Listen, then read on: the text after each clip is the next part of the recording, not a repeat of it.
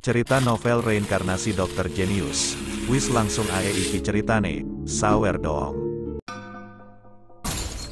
Dokter terlahir kembali bab 1361. Di sisi lain, mobil-mobil hitam melaju kencang di jalan raya. Naik perahu dari pelabuhan adalah satu-satunya rute terbaik bagi Luo Ge untuk meninggalkan Huaxia seperti yang disimpulkan si Chen. Oleh karena itu, dia harus menghentikan sisi lain di pelabuhan sebelum mereka meninggalkan Huaxia. Jika ketinggalan, biarkan Lok membawa Mu Yunbing ke tengah, dan kesulitan penyelamatan akan meningkat secara eksponensial. Tangan si Chen yang memegang setir sedikit mengeluarkan keringat dingin, dan alisnya, yang selalu acuh tak acuh sebelumnya, diam-diam mengerutkan kening. Jika dia telah berubah ke tugas lain, dia tidak akan khawatir sama sekali. Tetapi sekarang Mu Yunbing yang telah diculik, si Chen harus bersiap untuk yang terburuk. Mu Yunbing ditangkap oleh Luo Ge karena dia, dan jika dia benar-benar tidak dapat diselamatkan, dia akan kesulitan tidur dan makan selama sisa hidupnya. Jangan khawatir, Lok ingin membunuhmu, dia hanya akan menggunakan istrimu untuk memikatmu. Jadi sebelum Anda bertemu dengannya, istri Anda, harus aman. Merasakan suasana tegang di dalam gerbong, wajah pucat Yulina juga penuh kekhawatiran, dengan lembut menghibur si Chen. Kuharap begitu. Si Chen menghela nafas dalam diam, dan niat membunuh Senran meledak dari matanya yang gelap dan dalam. Sedan hitam itu melaju kencang. Tangan di dashboard sudah menunjukkan hampir 250 mil. Seluruh tubuh sedikit gemetar, dan mesinnya menderu. Pukul 4.30 pagi, si Chen memarkir mobil di tepi pelabuhan. Terakhir kali saya datang, saya pergi bersama Li Bailin untuk berpartisipasi dalam piala penyembuh dan saya ingat bahwa saya juga mendarat di kapal pesiar dari pelabuhan ini dan berlayar sampai ke laut teritorial. Tanpa menunggu mobil berhenti, si Chen membanting pintu hingga terbuka dan menyapu ke arah mercusuar di pantai, dan Yulina mengikuti dari dekat. Kedua pria itu mempercepat puluhan langkah di sekitar tangga yang berkelok-kelok, lalu mendorong pintu kantor hingga terbuka. Si Chen memandang karyawan pelabuhan yang sedang tidur di kursi dan bertanya dengan mendesak, sejak tadi malam, apakah ada kapal atau kapal pesiar yang tersisa? Petik 2. Karyawan pelabuhan yang bertugas juga berpikir bahwa bos telah menggerebek inspeksi, dan dia duduk tegak ketakutan. Siapa yang tahu bahwa ketika dia membuka matanya, ada dua orang asing dengan dua wajah di depannya, dan dia segera menatap si Chen dengan waspada, siapa kamu, siapa yang membiarkanmu masuk? Petik 2. Jawab aku, ya atau tidak. Si Chen sedikit mengernyit, dan merasakan sebuah amplop dari saku mantelnya. Ini adalah uang tunai 20 ribu yang dimasukkan Mu Huaimian ke dalam sakunya ketika dia dibawa ke kantor polisi oleh polisi. Begitu dia melihat uang kertas 100 dolar merah, mata staf pelabuhan lurus, Tunggu sebentar, akan kutunjukkan. Petik 2. Anda harus tahu bahwa 10.000 bundel, ini adalah 20.000 yuan penuh, sepadan dengan gajinya selama hampir setengah tahun. Setelah turun, para karyawan tidak peduli untuk berpakaian, dan segera berbaring di atas peralatan di kantor untuk mengambil informasi masuk dan keluar dari kapal. Hanya dalam beberapa menit, dia mengulurkan tangan dan menunjuk ke layar. Setengah jam yang lalu, sebuah kapal kargo meninggalkan pelabuhan, karyawan itu berderak di keyboard, dan kemudian memecahkan monitor tegak di depan mata si Chen. Ini adalah video pengawasan, Anda tahu. Di monitor, si Chen dapat dengan jelas melihat seorang pria berpakaian hitam memaksa wanita itu untuk naik kapal barang yang ditandai dengan bahasa asing. Mereka tinggal di pelabuhan kurang dari lima menit sebelum segera pergi. Bab 1362 melihat adegan ini, si Chen perlahan menutup matanya, dan seluruh hatinya jatuh ke titik beku. Meski karena malam, pemantauannya agak ambigu, dia masih bisa melihat sekilas bahwa wanita yang sedang dipaksa itu pasti Mu Yunbing. Setelah melihat ekspresi si Chen, karyawan itu tanpa sadar memasukkan amplop itu ke dalam lemari di bawah meja, dan kemudian bertanya dengan suara rendah, ada apa? Ada apa? Sampaikan informasi kapal itu, Long menghembuskan seteguk napas keruh. Si Chen berkata dengan ringan. Semuanya ada di sini. Mata karyawan itu berkedip-kedip, tetapi tangannya meraih ke bawah meja dan menyentuh amplop yang menggembung sebelum menunjuk ke monitor lain di atas instrumen. Melihat lebih dekat, monitor menunjukkan bahwa sebuah kapal barang dari Eropa Barat meninggalkan pelabuhan setengah jam yang lalu. Ia tinggal di pelabuhan selama setengah tahun, mengangkut ikan dan udang yang diekspor secara lokal, dan waktu keberangkatannya setengah jam sebelum si Chen tiba di pelabuhan. Meskipun saya bukan orang Cina, saya rasa saya belum pernah mendengar tentang kapal kargo asing yang dapat tinggal di pelabuhan China selama setengah tahun setelah menurunkan kargo mereka, kan? Setelah periode studi ini, bahasa Mandarin Yulina telah meningkat pesat, dan dia dapat dengan jelas melihat apa arti teks di layar. Ini, saya tidak tahu. Karyawan itu tersenyum canggung, lalu perlahan-lahan memasukkan amplop itu ke dalam saku celananya dan bangkit untuk meninggalkan kantor mercusuar. Si Chen meraih kerah karyawan dengan satu tangan, dan suaranya dingin. Dia benar, jelaskan dengan jelas. Kapal kargo ini 100% merupakan alat transportasi log dari organisasi mereka ke China untuk membunuh dirinya sendiri. Dalam kehidupan masa lalunya, sebagai Raja Pejuang, Si Chen sering melakukan perjalanan bolak-balik antara Tiongkok dan luar negeri, dan tentu saja dia juga bisa menyadari keraguan di mulut Yulina. Tertangkap oleh keras Si Chen, karyawan itu ketakutan, hampir kencing di celananya, dan memohon pengampunan dengan wajah pahit, bagaimana saya tahu ini, saya adalah karyawan kecil biasa, docking dan keberangkatan kapal barang semuanya dikelola oleh pelabuhan terpadu. Saya hanya tugas. Petik 2 Petik 2. Jangan katakan yang sebenarnya. Tubuh si Chen meledak dengan ledakan tekanan ki sejati. Tekanannya begitu besar sehingga bahkan Yulina mundur beberapa langkah, bersandar ke dinding, menatap si Chen dengan mata biru.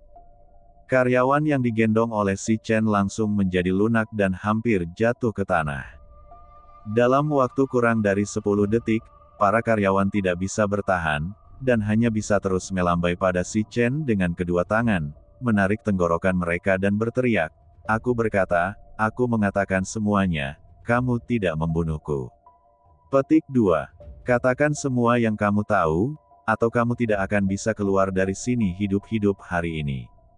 Si Chen mengepalkan tinjunya dengan satu tangan, dan selama dia merasakan ada yang salah dengan apa yang dikatakan orang di depannya, dia akan segera bergerak. Saya dulu bekerja di sebuah kota di Eropa Barat, dan beberapa tahun yang lalu saya menemukan posisi di pelabuhan berkat koneksi keluarga. Karyawan pelabuhan itu menelan ludah ketakutan, dan kemudian menjawab dengan jujur, sekitar setengah tahun yang lalu, Seorang Eropa Barat tidak tahu di mana menemukan informasi kontak saya, biarkan saya menggunakan tangan dan kaki saya, biarkan kapal kargo mereka memasuki pelabuhan Cina, dan dapat berlabuh untuk waktu yang lama. Lanjutkan, tidak ada ekspresi di wajah si Chen, tetapi di dalam hatinya dia menghitung waktu. Setengah tahun yang lalu, ketika saya berpartisipasi dalam piala penyembuh, kapal barang itu diparkir di dermaga. Sudah sekitar setengah tahun sejak pertemuan pertama dengan Yurina dan pertarungan dengan Rock di hutan. Saya tidak berani melanggar peraturan, tetapi mereka membayar saya 200 ribu dolar huaksia di muka, dan mengatakan bahwa setelah kapal kargo meninggalkan pelabuhan, mereka akan memberi saya 500 ribu yuan lagi, dan saya menyetujuinya. Para karyawan dengan hati-hati mengamati ekspresi si Chen, selama ada yang salah, dia akan segera berlutut dan memohon pengampunan. Bab 1363 Yulina menyandarkan punggungnya ke dinding, batuk beberapa kali, dan kemudian menatap si Chen dengan tatapan dendam, ini benar-benar tidak berbudi luhur, aku mendapat berita itu dan bergegas membantumu, kamu bisa menuangkan dengan baik, kamu hampir tidak langsung mematahkan leherku. Petik 2. Si Chen sedikit bingung dengan biksu kedua, berita apa yang kamu dapatkan? Apa yang Anda lakukan di sini? Petik 2. Bantu kamu, wanita yang diambil Lok seharusnya adalah istrimu, kan? Yulina mengusap lehernya yang agak memerah dan berbicara dengan lancar kepada si Chen dalam bahasa Mandarin. Sejak terakhir kali dia menyelamatkannya, dia telah bekerja keras untuk belajar bahasa Mandarin dan ingin berkomunikasi dengan si Chen secara normal dan tanpa halangan. Bagaimana menurutmu, Lok? Si Chen terkejut, dan misteri di benaknya segera terpecahkan.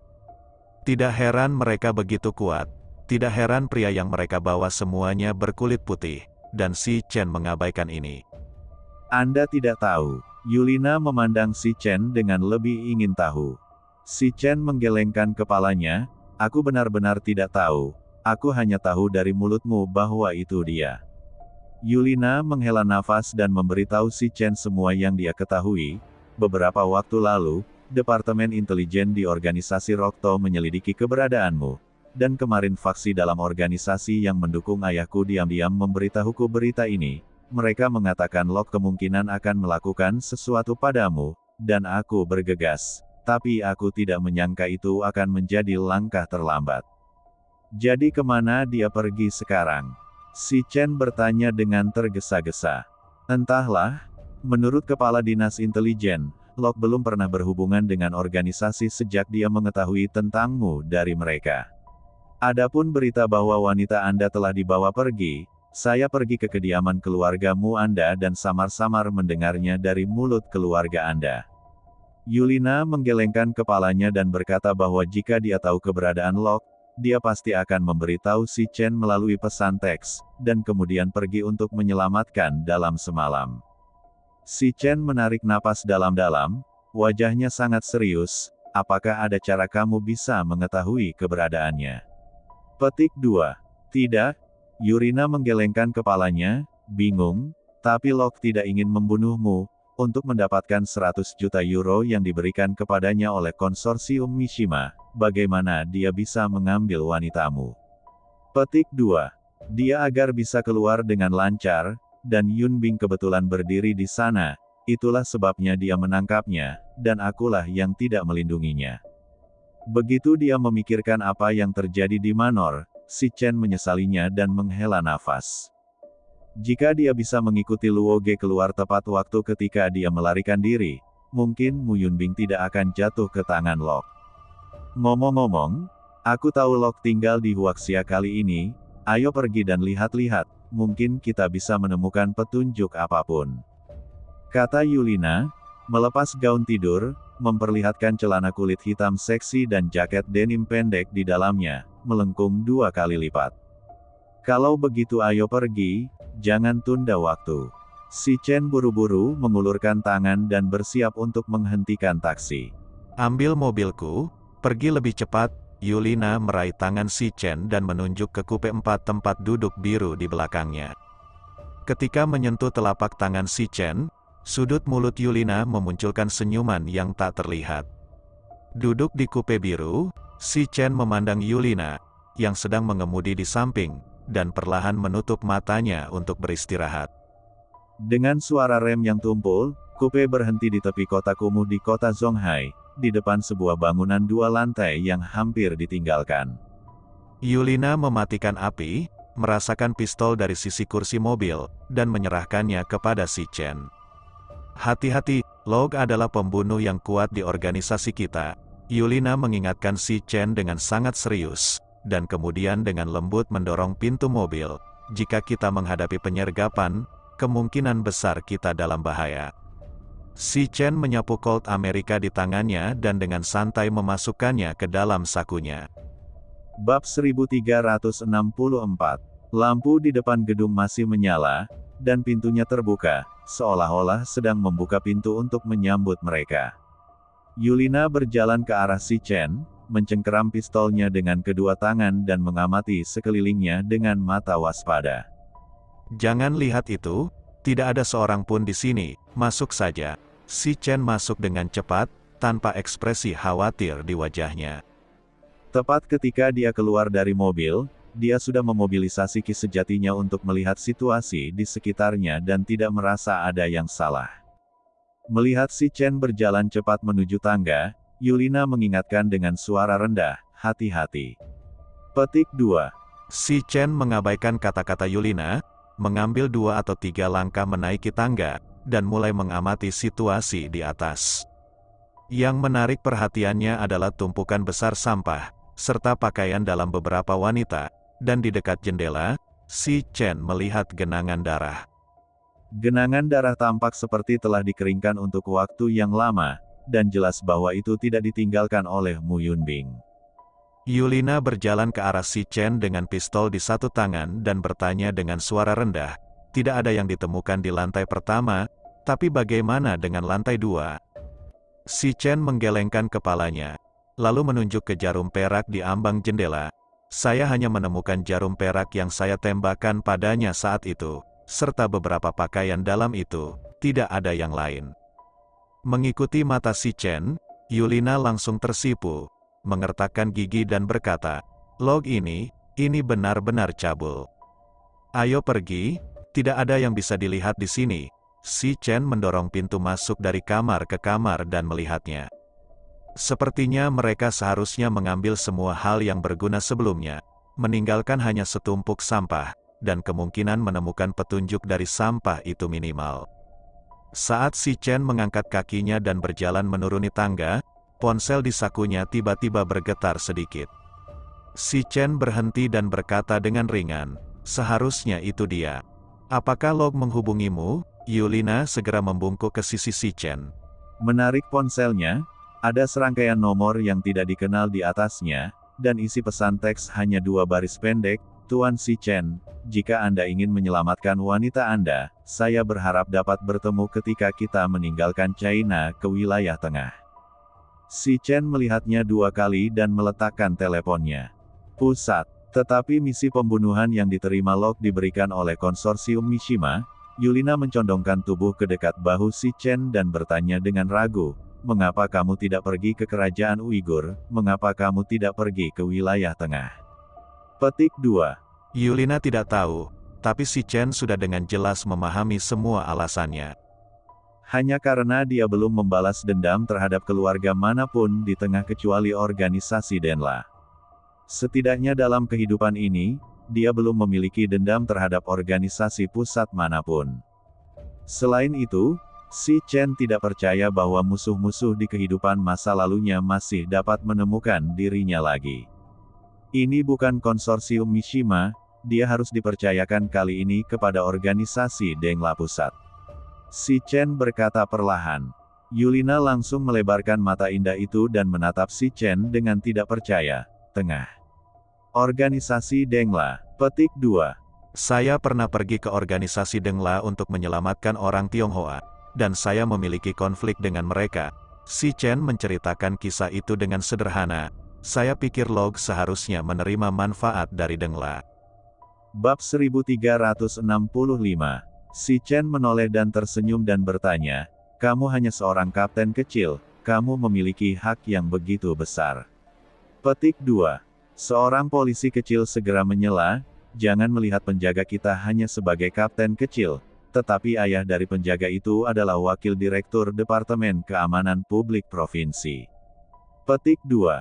Kamu, cepat dan selesaikan pekerjaanmu, dan jangan bicara omong kosong. Weili mengangkat kakinya dan menendang polisi kecil ini. Saat kedua polisi itu mengemasi barang-barang mereka dan meninggalkan ruang interogasi, Wei Li mengeluarkan sebatang rokok dan menyerahkannya kepada si Chen, dan dia menyalakannya sendiri. Coba pikirkan, bergabunglah dengan tim Interpol kami. Setelah menyesap, Wei Li berkata dengan suara yang dalam. Bahkan jika dia belum melihat pemandangan pada saat itu, dari kata-kata si Chen saja, dia bisa tahu seberapa kuat orang ini, dan bahkan instruktur sebelumnya tidak dapat dibandingkan dengannya. Jika orang seperti itu direkrut ke dalam detasemen polisi kriminal, maka tidak ada seorang pun di kota Zonghai yang berani melakukan tindakan kriminal setelah itu. Tidak tertarik, si Chen mengambil sebatang rokok dan menaruhnya di telinganya dan mengangkat kakinya untuk pergi keluar ruang interogasi. Wei Li tertegun selama dua detik, menatap punggung si Chen dan berteriak, kamu berpikir lagi, aku akan menunggu kabarmu kapan saja. Petik 2. Meninggalkan kantor polisi, si Chen berdiri di pinggir jalan sebentar, menghisap rokok di tangannya, dan berjalan langsung ke arah Hotel Hanlin. Zuo Xiancheng dan Liu Xiao, si Chen berpikir bahwa yang pertama lebih mungkin. Segera, sosok si Chen muncul di pintu kamar presidensial di lantai atas Hotel Hanlin. Baru saja dia sudah bertanya kepada pelayan dan tahu bahwa Zuo Xiancheng baru saja kembali dari rumah sakit dan tinggal di dalamnya. Jepret, tanpa berpikir panjang, si Chen langsung mengangkat kakinya dan menendangnya keluar. Kaki ini jatuh, pintu kamar presidensial ditendang berkeping-keping, dan dengan tarikan yang kuat, seluruh pintu dirobohkan oleh si Chen. Menyalakan lampu, si Chen melangkah ke ruang tamu, dan Zuo Xiancheng, yang memiliki wajah panik, baru saja duduk dari tempat tidur. Zuo Xiancheng dengan cepat mengenakan pakaiannya, dengan cepat merasakan tongkat baseball aluminium dari bawah bantal di tangannya, dan menatap si Chen dengan erat, kamu, apa maumu? Petik 2. Apakah kamu melakukannya? Sosok si Chen melintas dan melintas tepat di depan Zuo Xiancheng. Zuo Xiancheng ditanya dengan bingung, apa yang kamu bicarakan? Apa yang harus saya lakukan? Petik 2. Dia baru saja keluar dari rumah sakit dan disiagakan sebelum dia bisa tertidur. Tatapan membunuh di depannya membuatnya gemetar ketakutan, mengetahui bahwa si Chen telah memindahkan mesin pembunuh. Si Chen menyambar tongkat baseball aluminium, meremasnya sedikit dengan telapak tangannya, dan meremasnya menjadi bentuk yang terdistorsi, Sebelum dia bertanya dengan suara dingin, katakan, apakah kamu mengirim seorang pembunuh ke Mujia Manor untuk membunuhku? Petik 2. Apa? Zuo Xiancheng tertegun selama dua detik, dan dengan cepat menggelengkan kepalanya sebagai penyangkalan. Tidak, tidak, tidak, itu tidak mungkin aku. Petik 2. Bagaimana mengatakannya? Dalam 30 atau 40 tahun terakhir, dia juga telah bercampur dengan organisasi bawah tanah, dan dia dapat dengan jelas merasakan krisis yang dibawa si Chen pada dirinya sendiri. Jadi jangan katakan balas dendam putranya, dia hanya ingin si Chen pergi dari sini dengan cepat, dan hidupnya akan hilang. Benarkah? Lalu lihat mataku dan katakan lagi, si Chen menyipitkan matanya sedikit, selama dia berpikir, dia bisa membunuh Zuo Xiancheng dalam sekejap. Setelah melihat si Chen, perasaan kematian bahkan lebih dekat, dan Zuo Xiancheng menggelengkan kepalanya seperti mainan, saya benar-benar ingin menyewa seorang pembunuh untuk membunuh Anda, tetapi putra saya masih terbaring di rumah sakit, di mana saya punya waktu untuk menemukan pembunuh. Petik 2. Si Chen menjatuhkan tongkat baseball di tangannya, dan meskipun mata Zuo Xiancheng panik dan mengelak, dia bisa melihat bahwa dia tidak berbohong. Bab 1366 Melihat si Chen menjatuhkan tongkat baseball yang telah berubah bentuk, Zuo Xiancheng menghembuskan napas panjang dan menyebutkan bahwa jantung mata tenggorokan telah benar-benar jatuh. Dalam waktu kurang dari dua menit, punggungnya basah kuyup, dan bahkan tenggorokannya menjadi sedikit kering.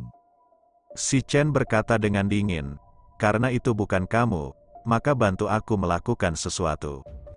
Saat ini, dia sudah bisa yakin bahwa Zuo Xiancheng tidak melakukannya, dan orang yang paling mungkin menyewa seorang pembunuh adalah Liu Xiao. Apa? Zuo Xiancheng mendengus, dan dengan cepat mengeluarkan kantong kertas dari meja samping tempat tidur dan meletakkannya di depan si Chen. Saya punya 200 ribu koin Huaxia di sini, jika Anda membutuhkannya, ambil saja. Jika itu tidak cukup, saya akan pergi ke bank dan mengambilnya untuk Anda. Si Chen menendang kantong kertas ke samping dan berkata dengan ringan, saya tidak membutuhkan barang-barang ini, saya ingin Anda membantu saya mengetahui beritanya. Zuo Xiancheng menelan ludah, kamu melakukan apa yang kamu perintahkan. Bantu aku menanyakan di mana Liu Xiao sekarang, si Chen menginstruksikan dengan acuh tak acuh, dalam waktu setengah jam, aku akan mendapatkan informasi yang akurat. Zuo Xiancheng sedikit bingung, Liu Xiao. Siapa dia? Petik 2. Si Chen menjelaskan dengan lembut, orang yang melakukannya denganmu di kamar pribadi. Tidak masalah, aku hanya akan memberitahumu untuk menemukannya dalam waktu setengah jam. Zuo Xiancheng tidak berani menunda, dan segera mengeluarkan ponselnya untuk menghubungi bawahannya. Dengan kekuatan dan koneksinya di kota Zonghai, masih sangat mudah untuk menemukan saudara laki-laki dari Longjing. Si Chen berdiri di samping tempat tidur, menyaksikan Zuo Xiancheng terlihat buru-buru menelepon.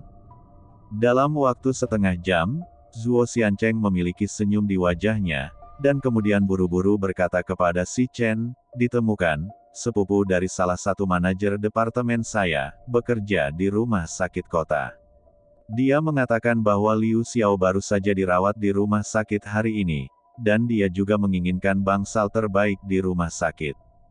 Si Chen memutar jari-jarinya, alamat khusus. Zuo Xiancheng berani ragu, dan dengan cepat berteriak ke telepon, Katakan padaku dengan cepat, di bangsal mana orang itu berada. Petik 2. Pria di ujung telepon dengan cepat menjawab, di lantai 12 Departemen Rawat Inap, kamar 1209. Si Chen ingat rangkaian alamat ini, berbalik dan berjalan keluar, menunjuk ke pintu kamar yang hancur, dan berkata dengan ringan, jangan beritahu saya pikiran bengkok apa yang Anda miliki, jika Anda berani, pintu itu adalah akhir Anda. Zuo Xiancheng mendongak, melihat ambang pintu hancur menjadi terak, dan mendengus lagi. Melihat si Chen berada jauh, Zuo Xiancheng buru-buru menghubungi staf hotel untuk berganti kamar untuk dirinya sendiri, dan dia tidak bisa tinggal di sini malam ini apa pun yang terjadi. Si Chen mendorong pintu hotel hingga terbuka, dan di luar masih gelap. Sekitar pukul 3 pagi, hanya ada satu atau dua pekerja sanitasi yang membersihkan di luar. Si Chen baru saja akan menghentikan taksi ke rumah sakit kota, ketika dia tiba-tiba merasakan angin dingin bertiup di sampingnya. Menyipitkan mata sedikit, si Chen menghilang ke dalam malam seperti seekor citah, dan ketika dia muncul kembali, dia sudah berada di gang sempit di sebelah hotel. Seorang pria berpakaian hitam dihancurkan ke dinding olehnya, dan lehernya bisa dipelintir kapan saja. Saya benar-benar mengirimkannya ke pintu, dan saya benar-benar tidak takut mati. Si Chen tertawa dingin. Nafas orang yang ditekan ke dinding ini sangat mirip dengan orang-orang yang telah melakukan kejahatan di Mu Family Manor, tetapi bentuk tubuhnya cukup tipis. Orang yang diangkat batuk beberapa kali, mengangkat tangannya untuk melepas tudungnya dengan seluruh kekuatannya, dan berteriak dengan suara serak, batuk, si Chen, kamu mengecewakanku. Yurina, mendengar suara yang akrab ini, si Chen segera melepaskan tangannya. Bab 1367 pada saat ini, hati si Chen sangat berat. Jika orang di balik pembunuhan ini adalah konsorsium Mishima, akan lebih baik untuk mengatakannya. Apakah itu menghabiskan 100 juta euro untuk membiarkan Lok berbalik melawan air, atau untuk langsung menemukan konsorsium Mishima dan memaksa mereka untuk membatalkan hubungan kerja, Mu Yunbing dapat diselamatkan. Tapi sekarang itu melibatkan organisasi Dengla, dan di hadapan 10 organisasi bersenjata teratas di Timur Tengah dan bahkan di dunia, suasana hati si Chen langsung menjadi serius. Dia sangat menyadari kekejaman orang-orang itu demi tujuan mereka, tetapi dia takut kali ini, istri kecilnya berada dalam situasi yang mengerikan. Ya Tuhan, kamu pergi ke organisasi Dengla untuk menyelamatkan orang. Yulina sepertinya telah mendengar sesuatu yang luar biasa, belum lagi si Chen, yang merupakan pembunuh es organisasi mereka, dan tidak berani melakukannya.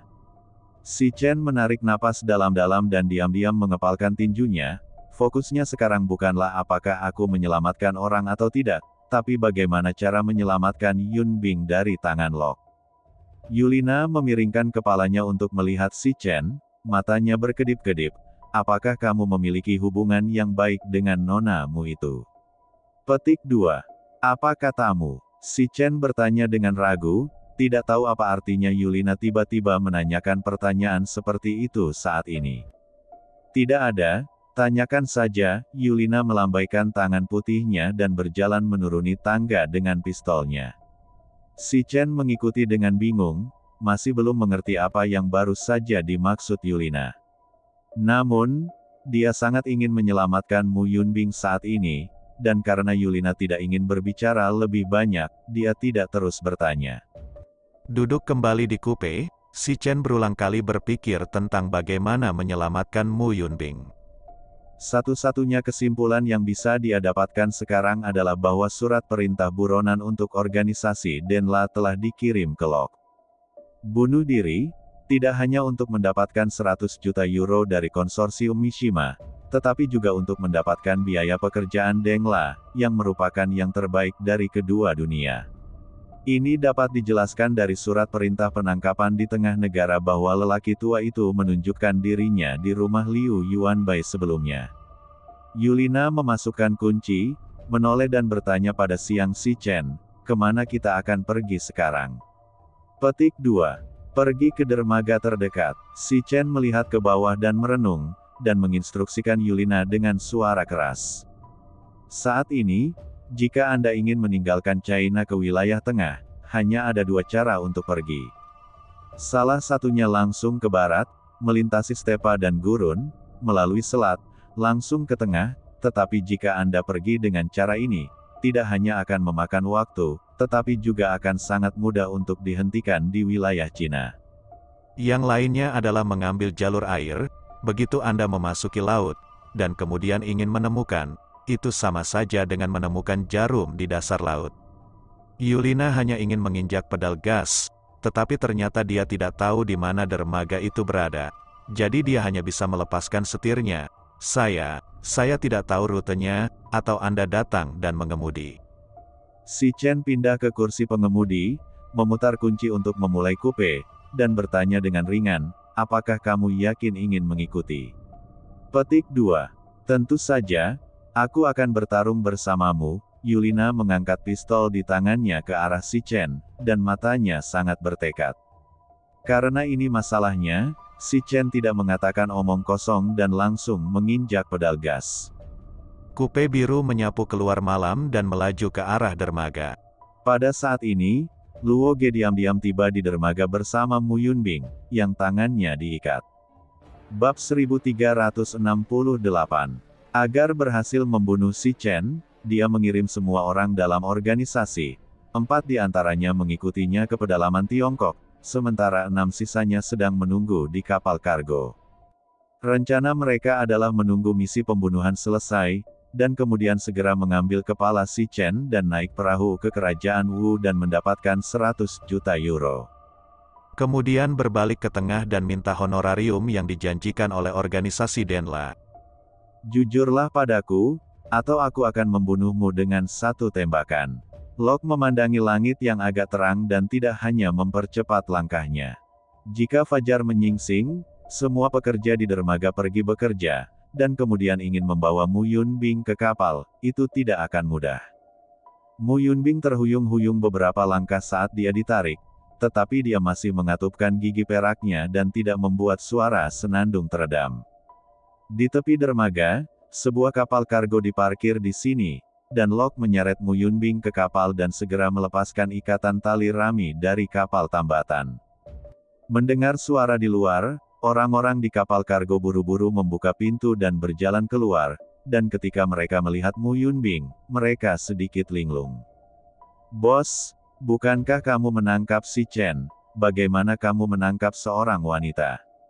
Ya, Wanita ini tampan, tapi bukankah kita keluar kali ini untuk membunuh si Chen? Hal-hal yang tidak terduga, kekuatan si Chen sangat kuat, jelas bukan apa yang dijelaskan keluarga Mishima. Lok melepas topengnya dan penuh dengan seringai sinis, dia adalah wanita si Chen, kunci aku, aku akan menunggu si Chen mengambil umpan. Petik 2. Meskipun misi ini gagal, ada baiknya untuk menangkap wanita si Chen. Luo Ge percaya bahwa dengan karakter orang Tionghoa yang penuh kasih sayang dan benar, si Chen tidak akan pernah menyerahkan istrinya. Sewaktu dia menyingkirkan tali rami di kapal, dia bertanya, haruskah kita pergi sekarang? Petik 2. Pergi sekarang dan tinggalkan laut teritorial China sebelum fajar. Jika polisi di Huaxia terlibat, tugas kita akan sangat merepotkan, Luo Ge berkata, mendorong Mu Yunbing ke bawah di geladak, Ketika saatnya tiba, selama dia di laut, tidak peduli seberapa kuat si Chen, dia harus berlutut dengan jujur. Mu Yunbing tersandung dan jatuh, mengatupkan giginya dan tidak bersuara, tanpa niat sedikit pun untuk meminta maaf. Meskipun dia tidak tahu siapa orang asing ini, mendengarkan percakapan mereka, dia tahu bahwa orang-orang ini jelas bukan penjahat biasa. Luo Ge tidak memandang Mu Yunbing lagi, tetapi terus bertanya kepada bawahannya, ngomong-ngomong, apakah keluarga Mishima memberi kami kabar? Petik 2. Patriark keluarga Mishima menghubungi saya kemarin malam dan berkata bahwa dia akan mengirim ninja yang kuat dari dalam klan untuk bekerja sama dengan kami. Orang-orang itu memutar rekaman panggilan ke Rock dan kemudian mendiktekan patriark mereka sendiri mengatakan bahwa dia ingin membantu kami menyelesaikan misi pekerjaan organisasi Denla. Sepertinya keluarga Mishima juga ingin menjilat organisasi Denla, tapi ini masalah menyelamatkan kita. Pergi dan hubungi Dengla dengan nada bicaraku dan katakan bahwa paling lambat dalam tiga hari, kita akan dapat mengirimkan si Chen kepadanya. Ini juga merupakan pengingat untuk membiarkan mereka mengambil gambar bila perlu dan membersihkan kaum konservatif dalam organisasi. Petik 2. Locke menyelinap ke kabin dan menyerahkan seikat tali kepada anak buahnya, dengan senyum sinis di wajahnya. Selama organisasi Denla setuju untuk membantu, maka kaum konservatif di organisasi Kementerian Kegelapan mereka pasti akan tersingkir dalam satu malam. Pada saat itu, sebagai pahlawan terhebat, ia harus mewarisi posisi kepala suku.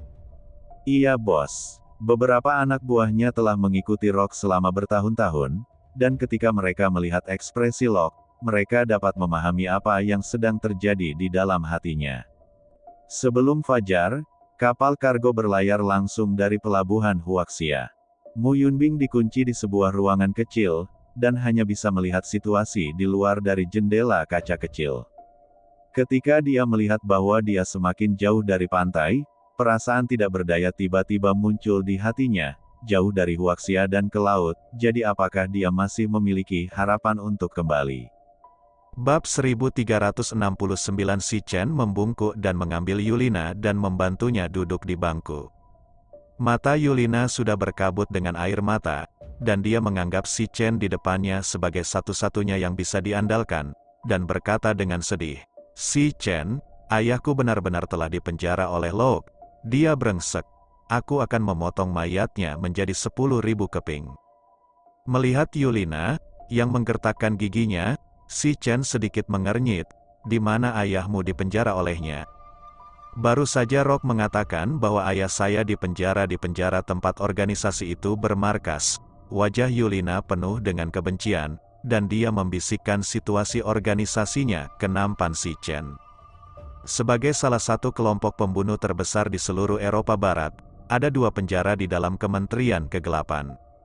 Di penjara, Orang-orang yang dipercayakan oleh berbagai kekuatan dan keluarga untuk membunuh akan dibawa keluar dari penjara dan diserahkan dengan imbalan uang pekerjaan ketika majikan datang ke pintu. Penjara lain, yang berada di bawah tanah organisasi, terputus dan memiliki selokan setinggi seorang pria di pipa saluran pembuangan. Di tempat itu adalah anggota organisasi pengkhianatan, dan di tempat gelap semacam itu, tidak peduli seberapa kuat keinginannya, orang-orang secara bertahap akan dihancurkan oleh roh, dan akhirnya menjadi keberadaan seperti semut. Ketika ayahnya menghilang lebih awal, Yulina belum menyelidiki penjara kedua dengan kaum konservatif organisasi, dan sekarang ketika dia tiba-tiba mendengar kata-kata Lok, Yulina sangat ingin menembak Lok di tempat. Melihat mata biru Yulina, si Chen ragu-ragu. Si Chen tidak ingin berpartisipasi dalam masalah asing semacam ini, lagi pula, ini adalah kontradiksi antara konservatif dan radikal dalam organisasi pembunuh. Dia telah dilahirkan kembali dan kembali ke Tiongkok, dan jarang menjalani kehidupan yang bersih, dan dia tidak ingin terkontaminasi dengan darah dan pembunuhan lagi. Jika Anda berpartisipasi dalam pertarungan semacam ini lagi, Anda pasti akan menimbulkan masalah.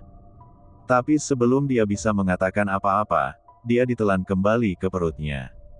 Yulina, mengetahui bahwa dia akan menyinggung keluarga Mishima dan organisasi Denla, masih dengan tegas menemani dirinya sendiri untuk menyelamatkan Mu Yunbing, tetapi persahabatan ini membuatnya tidak mungkin untuk menolak. Melihat tatapan ragu-ragu di mata si Chen, Yulina menyeka air mata dari matanya, mengertakkan gigi dan berdiri, maaf, aku terlalu emosional. Aku setuju untuk membantumu, menyelamatkan kepala suku kegelapan, dan membunuh Lok. Tanpa menunggu suara Yulina jatuh, si Chen menghela nafas panjang dan menjawab dengan suara yang dalam. Mengapa? Yulina jelas tidak berharap si Chen setuju dengan mudah. Barusan dia juga mengalami gangguan emosional, tanpa sadar mencari bantuan dari orang-orang di sekitarnya. Tidak ada alasannya, si Chen mengungkapkan senyum tipis, berdiri, dan menggenggam kemudi. Jika saya harus mengatakan alasannya, seharusnya saya membenci pengkhianat sebanyak yang Anda lakukan. Petik 2. Menatap laut biru, Pikiran si Chen melintas kembali ke pembunuhan berdarah terakhir.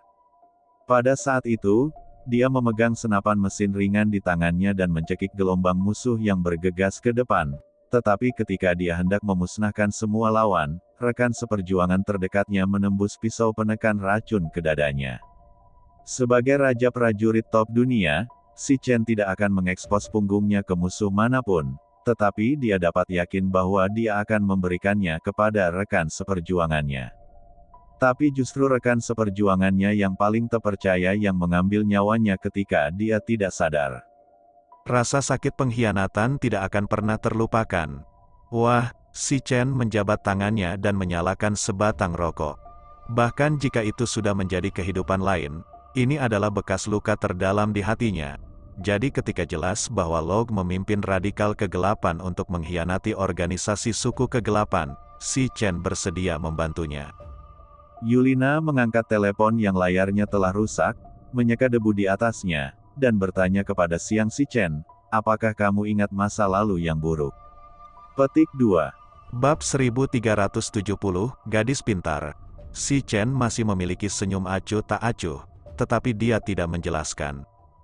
Si Chen tidak pernah memberitahu Mu Yunbing tentang hal-hal ini, apalagi kepada orang lain. Atau, sampai Anda mati dalam hidup ini, tidak ada yang akan tahu siapa Anda sebenarnya. Tapi si Chen menghitung hari-hari di dalam hatinya, dan ketika dia sampai pada hari itu, dia pasti akan kembali ke tanah mimpi buruk itu lagi, menghentikannya sebelum rekan seperjuangannya bergerak, dan bertanya untuk apa itu. Dan hari ini tidak jauh, Yulina tidak tahu suasana hati si Chen yang bergejolak, dan mata birunya meredup lagi. Ayahku berkata bahwa menjadi terlalu pintar mungkin bukan hal yang baik. Mungkin ayahmu benar, si Chen mengangkat alis, meninggalkan tugas-tugas di hatinya, dan fokus pada posisi kapal kargo di dashboard. Apakah itu untuk membantu Yulina membersihkan faksi radikal dari organisasi Kementerian Kegelapan, atau pergi ke medan perang di Afrika Utara, itu semua adalah renungan, dan prioritas utama sekarang adalah menyelamatkan Mu Yunbing. Kedua kapal kargo itu berlayar satu demi satu, dan pada saat langit benar-benar terang, Log telah memimpin dalam berlayar keluar dari perairan teritorial Tiongkok dan ke laut lepas. Apa itu laut lepas? Semua negara memiliki aturan yang sama. Ini bukan bagian dari wilayah negara mana pun, tidak berada di bawah kedaulatan negara mana pun, dan semua negara di dunia memiliki hak bersama untuk menggunakannya. Pada saat yang sama, tidak ada negara yang dapat menjalankan yurisdiksi atas laut lepas. Dengan kata lain, begitu berlayar ke laut lepas, hukum Huaxia tidak akan lagi berlaku untuk Log. Adapun apakah itu hidup atau mati, tidak ada negara yang akan mengejarnya, termasuk Log, termasuk Yulina, tetapi juga termasuk Si Chen dan Mu Yunbing. Luo Ge menunggu, menunggu untuk tiba di laut lepas, dan dalam lingkup tidak terikat oleh hukum Tiongkok, dia mengambil tindakan terhadap Si Chen. Dan Si Chen juga menunggu, dan juga menunggu untuk mencapai laut lepas. Hanya di laut seperti ini, membunuh Log, tidak akan membawa masalah bagi dirinya sendiri. Di lautan luas, dua kapal mengejar saya, dan jaraknya semakin dekat dan dekat. Di kapal yang dikejar si Chen, Lok membuka botol bir, minum dua teguk, dan bertanya kepada orang-orang di sebelahnya, tanyakan, kapan ninja yang dikirim oleh keluarga Mishima akan tiba. Petik 2. Karena membunuh si Chen, dia tidak yakin di dalam hatinya, terutama setelah pertempuran Mu Family Manor, yang membuatnya lebih sadar akan kesenjangan antara dirinya dan si Chen. Itu sebabnya dia meminta anak buahnya untuk meminta bantuan dari keluarga Mishima, yang paling dekat dengan Cina dan tinggal di kerajaan Uighur. Seharusnya segera, orang-orang itu melirik ke waktu, ketika penguasa keluarga Mishima menghubungi saya tadi malam, dia berkata bahwa ninja mereka telah meninggalkan keluarga dan seharusnya berada di atas laut saat ini. Yah, aku sudah lama mendengar bahwa ninja kerajaan Uighur sangat kuat, lihat saja hari ini. Mendengar ini, Locke merasa lega. Dengan jaminan yang dibuat oleh keluarga Mishima, dia percaya bahwa begitu si Chen meninggalkan perairan teritorial Tiongkok, dia akan hancur. Lord Rock, saya punya pertanyaan, anak buahnya bersandar di pintu kamar tempat Mu Yunbing ditahan dan berbicara bahasa Jerman dengan lancar. Meskipun Mu Yunbing bisa mendengar suara itu, dia tidak bisa mengerti apa yang dikatakan. Lok membuka sebotol bir lagi dan menyerahkannya kepada anak buahnya, tanya.